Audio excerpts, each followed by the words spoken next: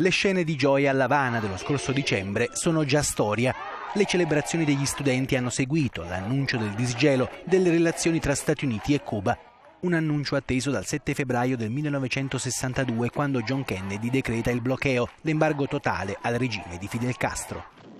Tutto inizia il 1 gennaio del 1959 quando 9.000 rivoluzionari guidati da Castro e da Ernesto Che Guevara entrano a La Habana e rovesciano il dittatore amico di Washington, Fulgencio Batista. Una delle prime decisioni è la nazionalizzazione dei beni delle società statunitensi. Il 1961 Castro fa di Cuba una repubblica socialista. Il 17 aprile 1500 miliziani armati dagli americani sbarcano alla Baia dei Porci con l'intento di rovesciare Castro, ma il piano fallisce i morti sono 118, 1200 i prigionieri. Kennedy decide l'embargo totale nei confronti di Cuba. Nel 1962 l'Unione Sovietica installa testate nucleari. Gli Stati Uniti decretano il blocco navale attorno all'isola dove sta arrivando un'imbarcazione sovietica con a bordo degli armamenti. Si arriva a un passo dallo scontro frontale tra Washington e Mosca Nikita Khrushchev accetta di ritirare le testate e ottiene da JFK l'impegno che non invaderà Cuba. Nel 1965 nasce il Partito Comunista Cubano. Il divorzio è consumato. La Habana e Mosca saranno vicine come non mai durante la guerra fredda.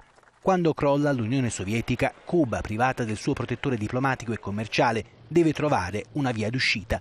La crisi economica è profonda, il tenore di vita crolla nasce il fenomeno dei balseros, persone che cercano di attraversare il mare a rischio della vita per raggiungere la Florida. Un fenomeno che il mondo scopre nel 1999 dopo la fuga del piccolo Elian Gonzales, naufragato insieme alla madre e ripescato al largo della Florida. L'anno dopo viene consentito a Elian di raggiungere il padre. La svolta viene segnata da una stretta di mano tra Barack Obama e Raul Castro in un giorno molto particolare, i funerali in Sudafrica di Nelson Mandela un progressivo avvicinamento fino al disgelo del 17 dicembre 2014 con lo scambio di prigionieri, la decisione di riaprire le ambasciate e di allentare l'embargo americano. Un altro muro, quello tra Washington e La Habana, è crollato.